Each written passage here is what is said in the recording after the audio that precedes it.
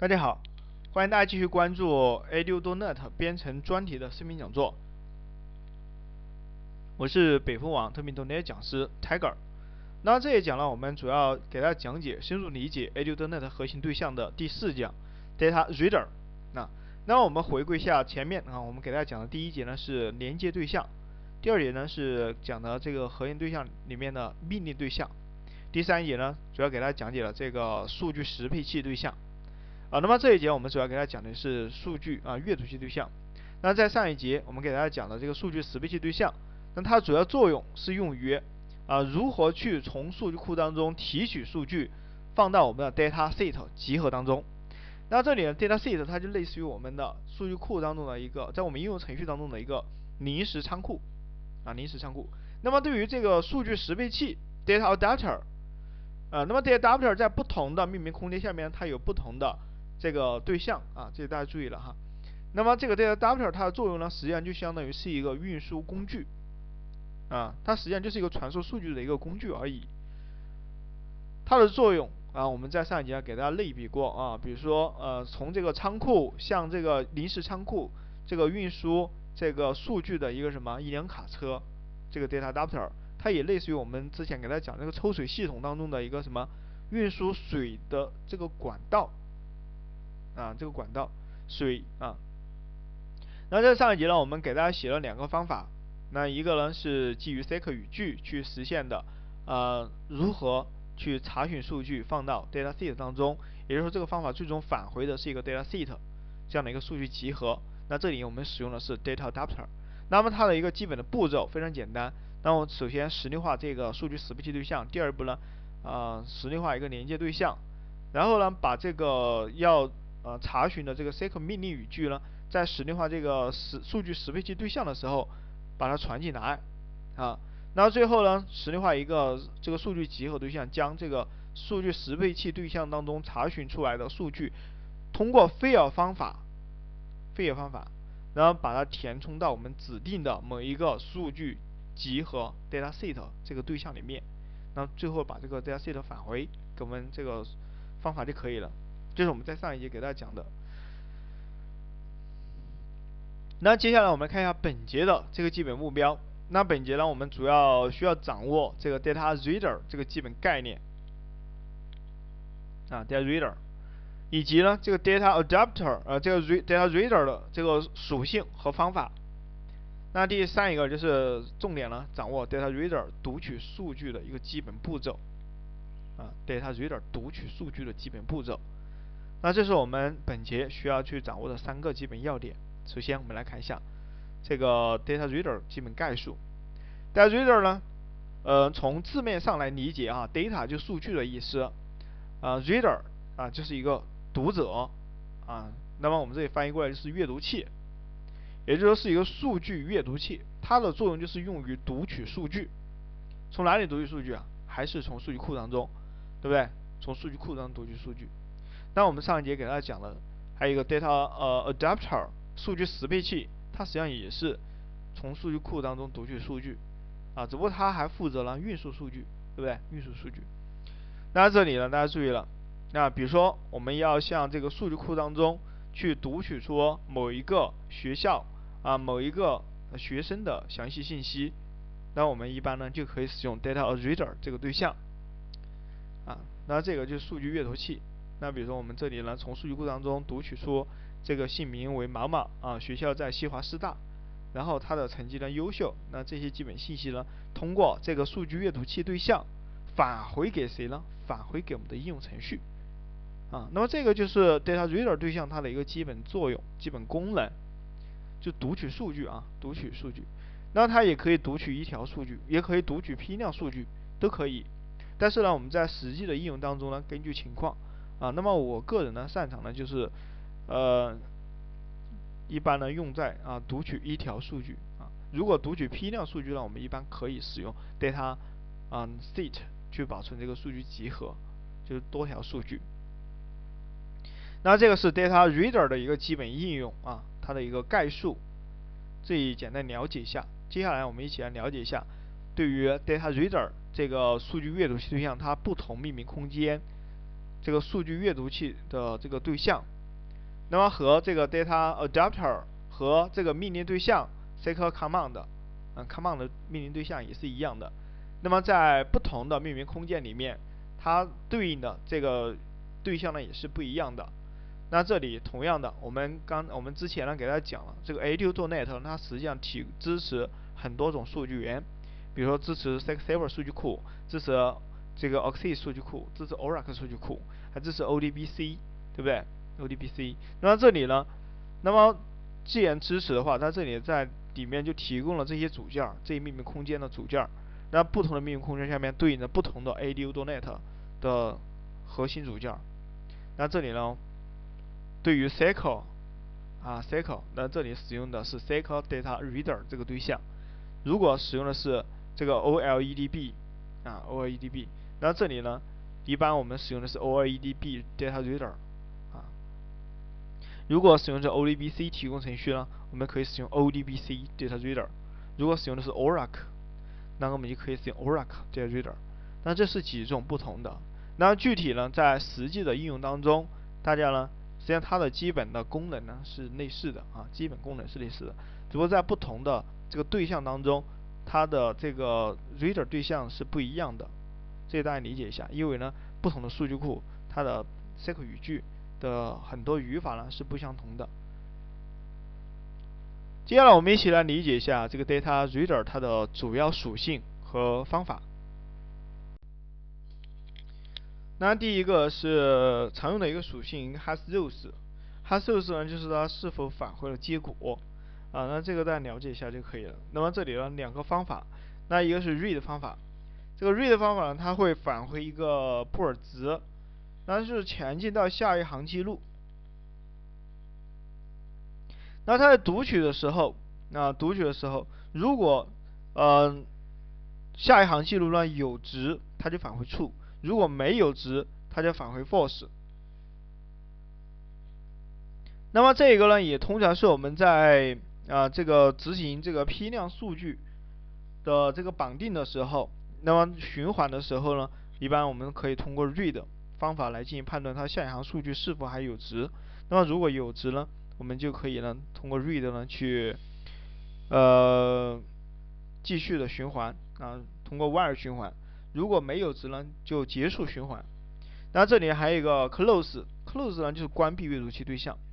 那对于这个数据啊，呃，读取完了以后，一般呢我们就可以呢使用 close 呢把它进行关闭掉。这是它几个常用的属性和常用的方法，大家这里呢先了解一下啊，有这么一个概念。第一个是 hasRows，这个是 read，就是第三个是 close，了解一下。那接下来我们一起呢来看一下对于 data reader 读取数据的一个基本步骤。那对于 data reader 数据阅读器，那么我们使用它来检索数据的一个基本步骤呢，首先我们需要去创建命令对象啊，同样的。第二一个呢就是需要去呃调用这个 execute reader 方法来创建这个 data reader 对象。这里呢大家一定要注意。那我们前面给大家讲了这个这个我记得好像是在。前面啊，第一节的时候就给大家讲过，这个 data reader 对象，它是不能够直接通过 new 去实例化的，啊，它必须能通过这个 command 命令对象的这个 execute reader 方法来创建 data reader 对象，啊，去创建，这里大家一定要了解一下，也就是说调用 execute reader 方法，那它就可以呢根据我们这个查询命令。那把这个呃查询的结果，然后创建一个 data reader 对象呢，复制给这个数据阅读器，然后我们就可以呢使用这个返回的这个数据阅读器的方法啊，这个一个 read 方法来进行逐行的去读取相应的数据。那第四一个步骤就是读取呃这个某一列的数据啊，那么这个比如说我们要给哪哪一个赋值，那我们就可以呢通过这个 data reader，然后，那这里呢，你可以把这个 data reader 对象呢，把它理解为一个数组。那我们取数组呢，这里呢可以根据它的这个数组的索引去取。但是这里呢还有，就是说你也可以根据它的这个列的名称去取，啊列的名称。然后当然取出来以后，那比如说这个数据在数据库当中，它本身的数据类型呢是 int，那你必须还给它转换成相应的 int 类型。如果是 string 类型，别必须还给它转换成 string 类型。这一个大家一定要注意啊。然后最后一个步骤就是读取完以后，那我们就可以呢对这个阅读器对象呢进行关闭。这里大家一定要注意了啊，我们阅读器对象，你如果你还没有在应用程序当中啊没有给它读取完，你是不能够对它进行关闭的。这里呢，呃，我通常呢给学生举这样的一个例子，这个就好比同样的是抽水啊，抽水，然后我们这里呢使用这个 reader 对象读取数据的时候，它实际上也是一种类似于这个抽水系统当中抽水的一个过程。那么这个抽水呢有两种方式，那第一种呢是可以直接把水抽到这个水池啊囤积起来，当我们要使用的时候，我们就可以直接从水池里面呢再取再去取水。那这个过程呢，就有点类似于我们在上一节给大家讲的这个 data adapter 数据识别器。那我们数据识别器就先把数据放到一个临时仓库当中，当要我们应用程序当中要使用的这些数据的时候，我们就可以从这个 data set 临时仓库当中呢去取数据。啊，就是这个基本过程。那第二种抽水的过程就可以是，可以呢把这个水呢直接抽到哪里呢？直接抽到我们的这个呃这个庄稼地啊庄稼田里面啊来使用。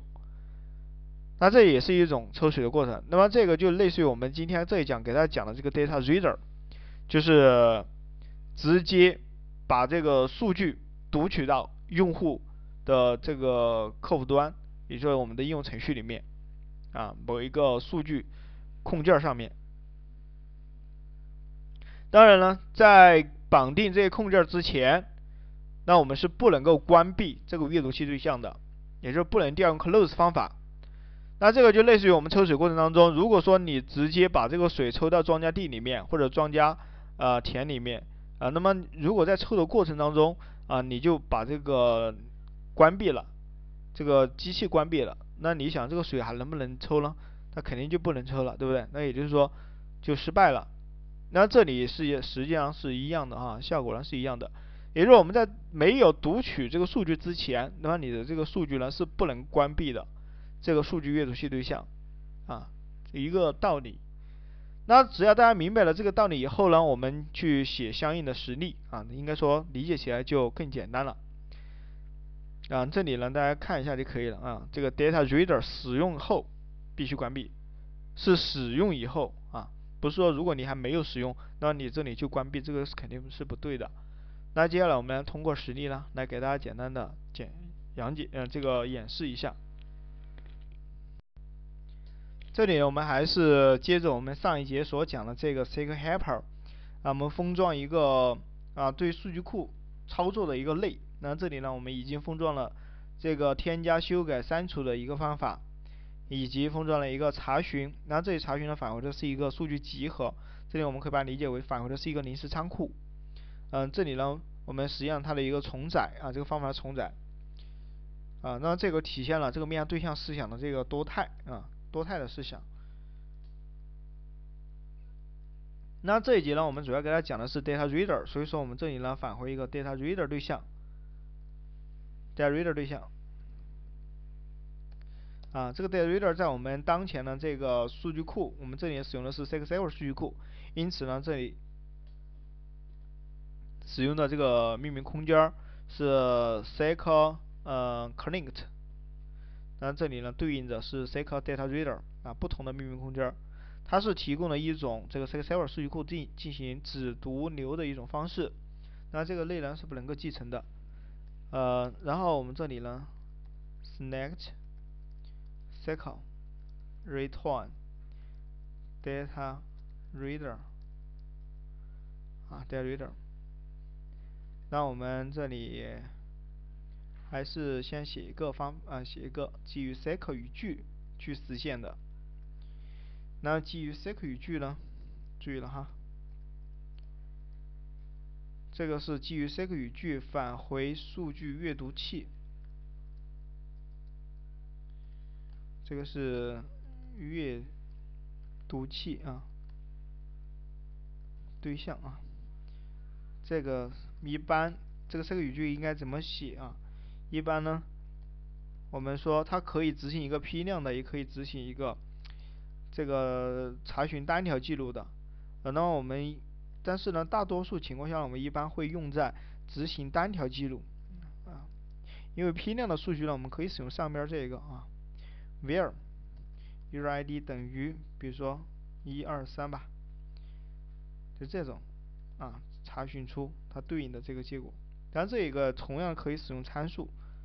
可同样可以使用参数来进行表示。那如果使用参数的话，那么我这里还应该有一个数组，专门用于给这个参数赋值的一个数组。那我们这里呢，就直接通过传值组装的一个字符串，相当于返回的是一个 dataReader 对象。同样的啊，我们需要呢去实例化一个连接对象。注意啊，实例化实际上就是六。就调用它的构造方法。那这个调用它构造方法的时候呢，我们可以使用这个 my 什么这个属性啊，当前这个类我们定义的一个 my calling string constring 啊这样的一个属性，然后实例化了这样的一个对象。那然后呢，我们可以使用这个对象的什么？呃，可以使用这个对象的。OK，这个就不用管了。然后呢，我们可以实例化一个命令对象。啊，因为这个 s q l Data Reader 它要它是通过这个命令对象去创建出来的一个数据集合，因此呢，我们这里呢要去实例化命令对象。注意了，命令对象实例化过程呢和我们上边执行这个 Insert、Update、Delete 语句的这个方法是一样的。首先传一个命令，然后再传一个什么连接对象进来，然后呢？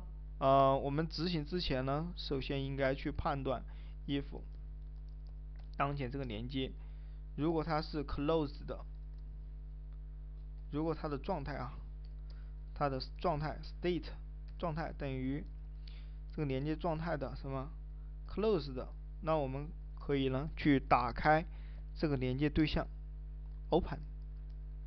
那么打开连接对象以后，我们可以嗯通过这个命令对象它的 execute reader 方法去创建一个这个数据读器。当然，它在创建之前呢，它就会根据我们这里的这个 SQL 语句啊，去查询对应的这条数据，然后把查询的数据呢，就返回给谁？返回给这个数据阅读器对象。这里我们可以声明一个 SQL Data Reader Reader 对象，OK。也就是说，这里通过 cmd execute reader，这里把查询出来的结果，这个 SQL 语句查询出来的结果返回给我们这里声明的这个 reader 对象。那现在数据呢就在这里面了。那数据在这里面以后啊，大家注意了，在这里面以后呢，我们就可以啊把这个结果呢返回给 reader reader 啊返回这个 reader 对象给我们的方法。OK。那么大家可以呢先看一下这个有没有问题啊？有没有问题？那么有没有问题呢？各位，那我们刚才给大家讲了，我们在 PPT 里面呢有个开发步骤啊，大家看一下。那这个开发步骤最后一个就是关闭什么 Data Reader 对象，关闭啊。那这里呢，我们在这里有没有关闭啊？各位？在这里有没有去关闭这个连接对象啊？这个 reader 对象没有是吧？没有。那我们也没有去关闭连接对象，是不是？也没有关闭连接对象。那这个会不会出错了？啊，也就是我们这里呢，需不需要在这里去关闭 reader 对象 close？这肯定是不得行啊，不得行。那如果你在这里已经关闭了，让我们在应用程序当中去调用这个方法的时候。那它又从哪里来的了数据了，对不对？哎，它根本就啊获取不了这个数据，所以说这里呢是绝对不能够关闭 reader 的。还有，那这里能不能关闭连接对象呢？各位，我能不能在这里关闭连接对象呢？可不可以呢？同样的是不行的啊，同样也是不行的。为什么呢？这我刚才给大家讲了，这就像抽水一样的。那如果你在抽水的时候，你把这个水龙头从这个水泵啊，从水里面提取出来，啊提出来，那这个水还能不能抽啊？那肯定抽不了了，对不对？只能抽空气了啊。那这里，也就是说这里呢是绝对不能关闭的。那可能有同学会想，哎，那么我们这里呢关闭不了，那这里它是不是这个连接对象就一直呢占有着，一直占有着，是不是？啊，一直占有着。那什么时候才能关闭呢？注意了，当然呢，.NET 小组呢在我们设计这个核心对象的时候，实际上已经考虑到了。那这里面，我们在调用这个 execute reader 方法的时候，那可以使用下面这个重载方法。那这个方法，它看没有？里面应该传一个什么 command behavior 这样的一个对象。command behavior 它是一个枚举类型。那这个枚举类型里面提供了多个枚举值。那这里呢，我们使用是 close connection。Close connection 什么意思呢？close connection 就是说我们当啊我们读取完这个阅读器以后，在应用程序当中，比如说在这个 form 窗体里面，然后去调用。这个 reader 对象的 close 的时候呢，它会自动的去关闭当前这个连接对象，啊，它会自动的去关闭这个连接对象，就这个意思，啊，大家了解一下就可以了啊。那就是说我们在这个方法封装这个方法的时候，我们不不需要去关闭连接对象，那我们在应用程序当中读取完以后，它会自动的去关闭，啊，它的这个连接，啊，这里大家一定要注意啊。那这里呢，我们还可以呢来给它写一个它的重载方法，呃，那么这个重载方法我们同样的是为了适应不同的这种开发模式。那我们的 ADO.NET 编程里面呢常用的开发模式，一种是基于数据呃基于这个 s q 语句，另外一种呢是基于存储过程。那这里呢我们第二一个啊就是可以呢实现基于存储过程或 s q 语句。啊，那么这个我们还是使用上面基于啊实现对数据库的查询操作。这个是啊查询，基于 seq 命令或基于存储过程。那这里我们同样的给它定一个什么 command type，就是命令类型啊，还有一个就是参数。那刚才我也给他讲了，如果说我们这个 SQL 语句当中有参数的话，那什么叫有参数的话呢？那这个参数呢，比如说这里啊，同样的，那这个 SQL 语句，它传的不是一个值了，它这里是传的是一个变量，参数就相当于是个变量嘛，是不是？传的是个变量，啊，那这个变量呢是在这个里面给它赋的值，在这个数组里面。啊，对应的这个变量呢，就有一个值，啊，那么这里我们也就是说，最终呢，把这个数据呢传到我们的数据库服务器端的时候，还需要哎把这个数组呢一起传过去，啊，就这个意思。那这里，seq 同样的啊，去实例化这样的一个对象，当然在实例化的时候呢，我们同样把这个属性啊这个字段。的值取出来，复制给它，也就是实例化这个连接对象，然后呢，实例化命令对象。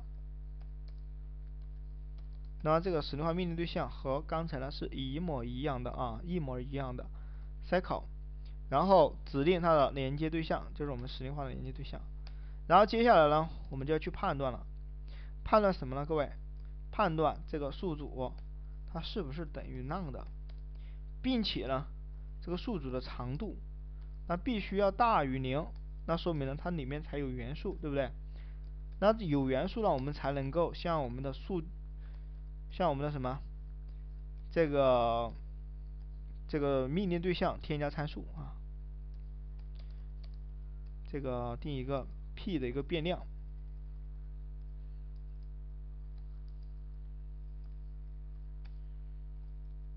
注意哈，这个定一个 p 的变量就可以了。啊，这里注意啊，是 for each，for each 啊，for each，就是通过这种 for each 的循环机制来进行处理。嗯，接下来我们就可以去处理了啊，通过 command 命令，然后这里呢有个集合。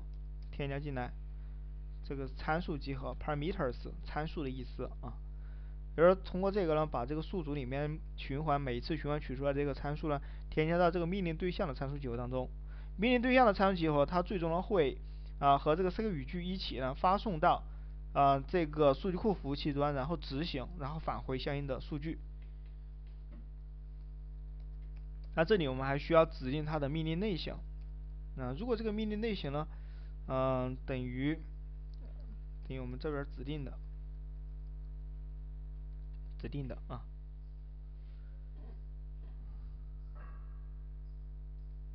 这是个枚举类型，if，OK，那现在我们就可以呢去实例化一个 SQL 嗯 data reader 的一个阅读器对象，啊实例化，然后使用 command 这个命令呢，去 execute 调用 execute reader 去读取。当读取的时候，我们就需要使用 command 这个 behavior close connection 这个方法啊，这个属性。嗯，那这个枚举类型什么意思啊？刚才已经给大家讲了，就是说当我们嗯这个命令行为关闭这个连接的时候啊，关闭这个阅读器对象的时候，它就关闭这个连接。那也就是说，避免了我们这里呢手动的去关闭这个连接对象。如果我们这里关闭这个连接对象以后，那这个数据它肯定是返回不到。啊，我们这个客服客户端的啊，这里呢，reader return reader，OK，那这是我们使用 data reader 实现的一个基本的功能。呃，那么这里呢，返回的是一个数据读器，这个方法呢，同样啊，也是上面这个方法的一个重载方法。嗯，它的主要作用呢，就是适用于这个基于 SQL 和基于存储过程的这个查询啊。那这是我们本节主要给大家讲的一个基本的知识要点。那么是 Data Reader，我们这里呢再简单回顾一下。那第一个呢是给大家简单讲解这个 Data Reader 的作用啊，就是用于读取数据的。然后这个数据呢是可以进行批量读取，也可以进行单独读取一条数据。呃，那么这里它的主要成员还是 rows、reader 啊，这个 close 这些方法呢，我们只有呢在最终调用这个 data reader 这个数据对象的时候，我们一般才会使用到它的属性和这些方法。呃，那这个是它创建的一个基本步骤。首先呢，同样创建一个命令对象啊，然后调用 execute reader 对象去创建这个 read，然后通过这个方法呢去读取。这是它在应用程序当中的一个基本使用，包括在呃如何去读取它里面的数据啊。那么这个读取数据，我们后边呢会详细给大家讲啊。那这里呢，我们先给大家讲一讲如何去从数据库当中读取过来，返回到我们的 data reader 当中。那至于从 data reader 当中又如何把数据呢返回到我们的界面，以及返回到相应的控件上，那这个呢是我们后边会给大家讲的一个内容。那么今天这一讲呢，我们就主要讲到这些啊内容啊。那么最后呢，我们还是简单给大家推荐一下，就是我们在北风网啊发布的一些其他的视频教程。那么这些教程呢，都是基于企业实战的一些应用开发。呃，那么第一个呢是三层结构啊，一个典型三层结构的一个医药行业的 ERP 系统。那这个呢也是我之前呢，嗯，在也就是我。在软件公司啊做的一个 ERP 系统，那里面呢主要涉及了很多的一些呃这个技术要点啊以及工具软件的使用，那大家可以呢去看一下啊有兴趣的朋友，那对于技能的提升呢，应该说至少呢应该可以提升你啊一到两年的这种工作经验。然后下边这个是基于 SB.NET 旗下的这个这个科技公司网站开发。那如果你能够熟练的掌握这个的话，那你出去接一些外包项目应该是没有任何问题的，啊，那么一个项目至少呢，啊一到两千是一些啊小这个小项目啊，一般一般都是一到两千。那么我的一些学生呢，通过啊培训了这个项目以后，那么就可以呢自己呢去接一些项目来做啊，暑假的时候，那么也能够基本上挣点学费啊，挣点生活费也是没任何问题的。然后下边这个是 l i n k o 技术的中国啊这个电信其实的 IPTV 客户端视频媒体管理系统，这个呢大家啊也可以去了解一下一些前沿技术啊，以及呢结合这个 Edunet 编程等等，以及这个商业呃 WinForm 的系统它的界面的这个设计。那么还有就是关于存储过程，还有这个关于 .NET 面试专题的视频讲解。那这个呢，总共有六十多集啊，总共有六十多集。那么每一集都给大家讲解了若干的一些技术要点以及知识点。那么大家呢，下来有兴趣的朋友呢，可以去了解一下这些啊视频教程。那今天这一讲我们讲到这里，下一讲呢，我们将继续给大家讲解关于 EduNet 的核心对象的其他方面的一些知识。那我们下一讲再见。谢谢。